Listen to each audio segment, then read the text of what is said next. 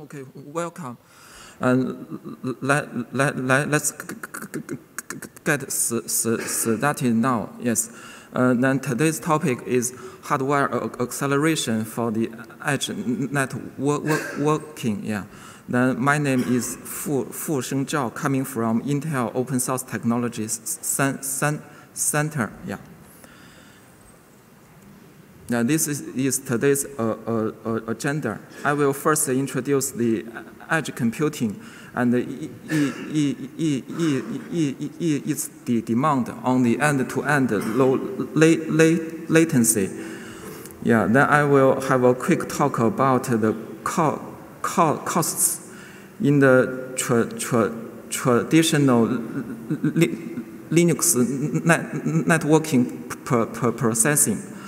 Then how the, these costs are eliminated by the kernel bypass way. Then afterwards, I will talk about a range of hardware acceleration technologies uh, uh, with, with, with the purpose to speed up the network data packet uh, processing one, one by one. Yeah.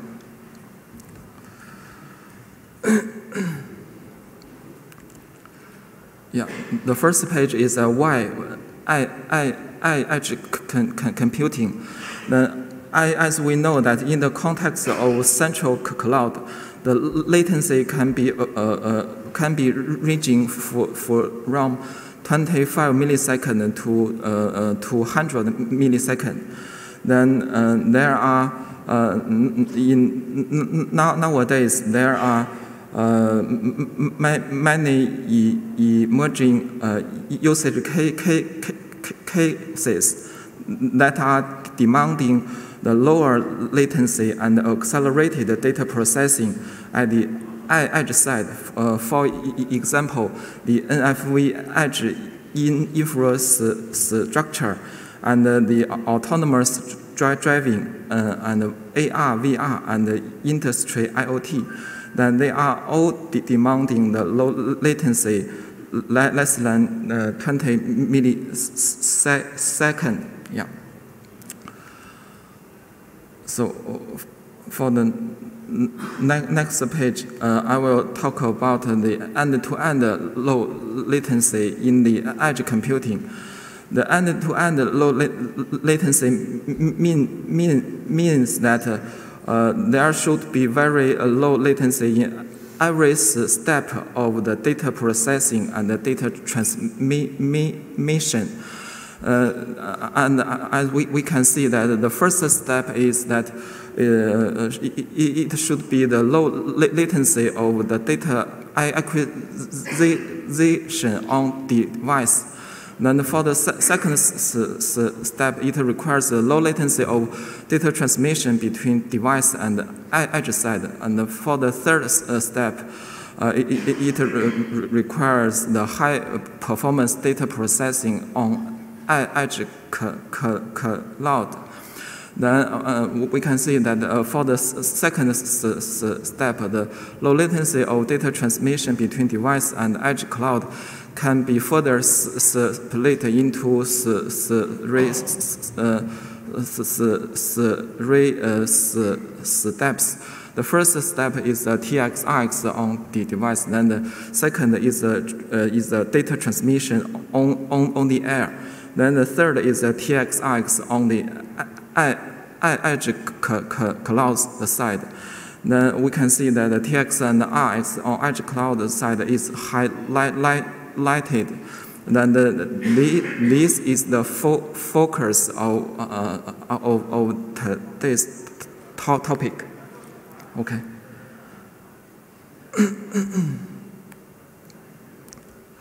yeah, the next slide, uh, let's have a quick look at Linux kernel net working processing after the data packet comes into NIC, it will be copied uh, into the socket buffers in the uh, kernel space by DMA.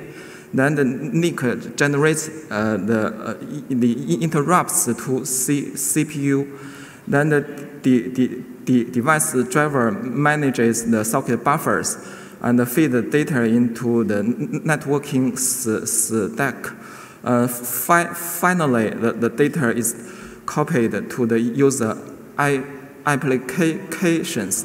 Then, as we can see that there are various costs in Linux kernel networking processing. The first uh, cost is related to the IRQ handling. When a huge amount of data packet are received on NIC, we can see the cost of the huge amount of IRQ hand, hand, handlings. Yeah. Uh, uh, the other uh, cost is related to the overhead of the context switch. Then there are two types of context switch here. The first is the context switch between the IRQ and the kernel thread. The second uh, overhead is a context switch between the kernel and the user space. Yes, uh, then we can also uh, uh, see the cost of memory copy. The first uh, time of memory copy is from NIC to kernel, yeah. Then the second uh, time of data copy is from kernel to user space. Yeah, then the, the user applications need to invoke the system calls to re retrieve the data. So there is also the cost of system calls here. Yeah. Then let's come to the next page. Uh, in this diagram, we can see that the kernel bypass way. Uh, here uh, we specific re, re, refer to DPDK. Yeah, the kernel bypass way can eliminate the, the costs in Linux kernel networking. The pooling mode driver is running with DPDK. So there's no cost of IRQ handling anymore. Yeah. Then all, all, uh, all, also the overhead of uh, two types of context switch switches are limited. Yeah. Uh, also, we can see that the data packet is copied from NIC to use the applications directly. Uh, there is only one time of data copy. Yeah. Be, be, be, be, uh, the last one is the cost of system calls because the user application the uh, user application that does not need to call any system calls to retrieve the data for, for from the kernel. So uh, we can see that there is also no cost of system calls with the kernel bypass way.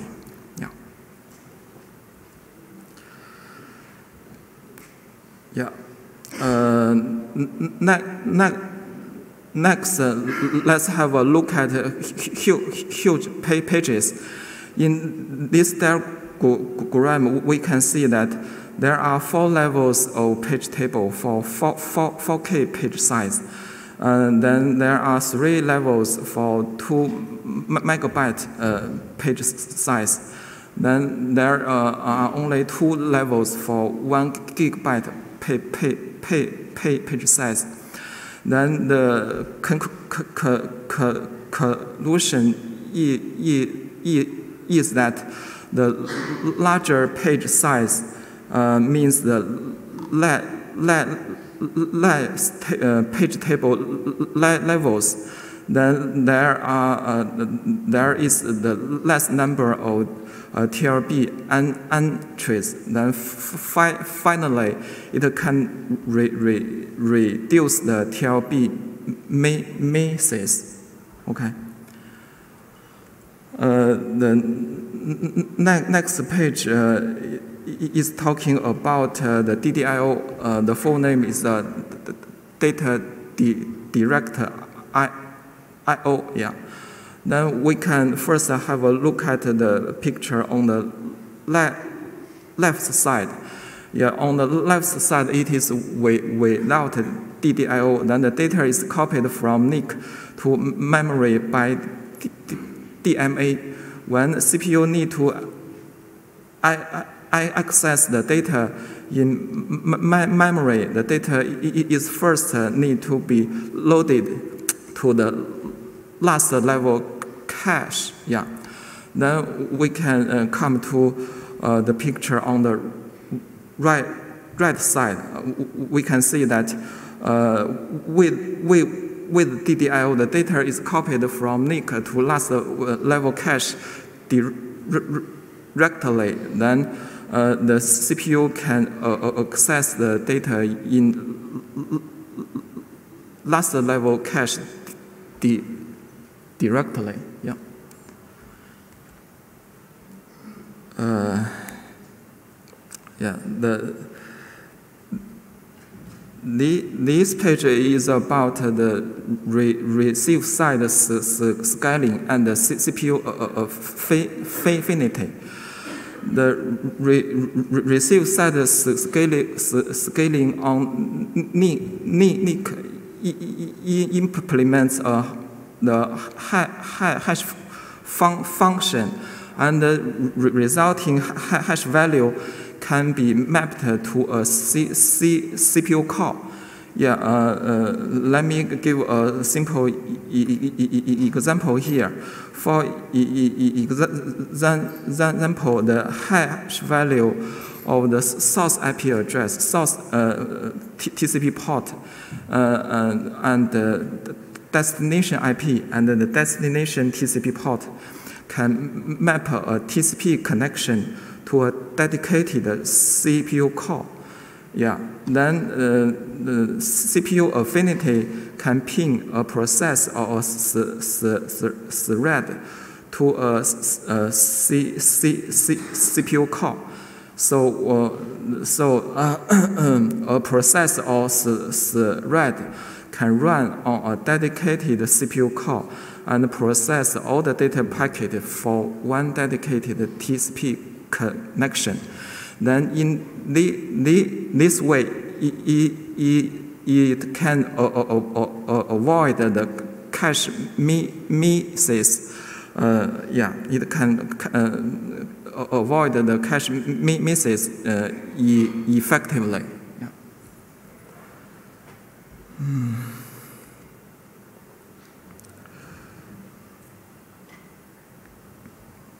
Yeah, the, in the, this page, let's have a look at the re, re, relay architecture of VM host I/O in interface. Uh, in this uh, diagram, we can see that the for, for front end is what I/O then the backend is vhost user running with DPDK. Yeah. Then the data flow is from NIC to DPDK, then to open V switch, then to the V, v, VM. We, we, we, we can see that. Then um, the uh, per, per row of this relay architecture is that it is quite easy to support the VM live migration. Then the con is that uh, there are uh, memory copy overhead because that the data first need to be copied from NIC to DPDK then uh, uh, the second memory copy is from DPDK to v, v, VM. Yeah. Okay. Uh,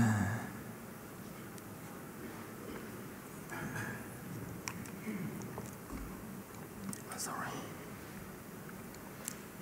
Oh, okay. Then the, the, this page shows the uh, pass-through architecture of VM and uh, VM host IO interface. Then in this architecture, the VF on NIC can be assigned to VM directly. Yeah, then we can see that uh, the parallel of this architecture is that it can achieve the same performance as bare metal. Yeah, the, the, uh, this is be, be, be because that there is no re, re, relay be, between the NIC and the VM. Then the con of this architecture is that it is quite hardware dependent. dependent. So um, in many cases, it is not possible to support the VM live migration. Yeah. Uh, here, uh, there is a table to compare the cons and the pros of the re relay and the passes through architecture. Then we come out a question here. Can we have the high performance with pass through and support the live migration with re, re, re, relay? Yeah. Then here comes the solution. Yeah. Here comes the solution. This, uh, solution is called VDPA. The full name is, uh, is called vHost Data Path Acceleration. Yeah. Um, then we can see that uh, the con configuration pa pa path uh, uh, uh, can go in, in the re, re, relay way. Yeah. Then the data transmission path uh, can go uh, in path through way. Then here we can see some uh, details. Uh, we, we can see that CSR and the bar con configuration and the map, map, map, map are hand, hand, hand, handled uh, in the in the re, re, relay way. Yeah. Uh, but the ring buffer uh, yeah, can be, uh, can be assigned to v, VM in the pass through way. Yeah. Then uh, the VDPA can uh, achieve uh, two key objectives. It, it, can achieve the I SR-IOV like per performance. Uh, then uh, on the other hand, it, it can support uh, the VM live migration. Yeah. Uh, the next page uh, is about uh, is called smart NIC. then I, as we know that there are um, several kind, kinds of uh, smart NICs. Yeah. Then in the, the, this page, uh, I, I, I think that I will only talk about uh, uh, one type of smart NIC. Then this type of smart NIC can um, can do the do the OVS out out loading. Yeah, then we can see that all the uh, uh, OVS uh, lo lo logic is offloaded from whole, whole host uh, to smart NIC. Then the data processing and for, for forwarding on the smart NIC can be uh, accelerated by I, I, I, FPGA or I, ASIC. Mm. Okay.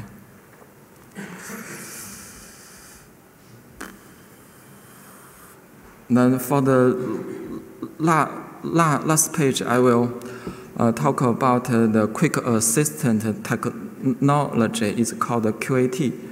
Yeah. Then uh, the the encryption and decryption algorithm the algorithms can be offloaded to QAT, including the uh, symmetric PKE offload and the symmetric chained cipher offload and, uh, and the pseudo random function offload. Yeah.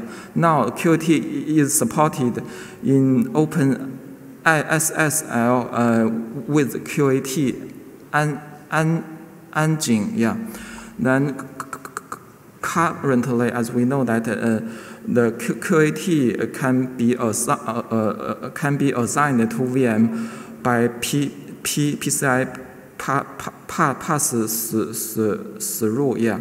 Then I, I think that in the near future, future the uh, the QAT may be managed by Cyborg, then I, I actually I no, no, noticed that uh, there is a technical session about uh, Cyborg.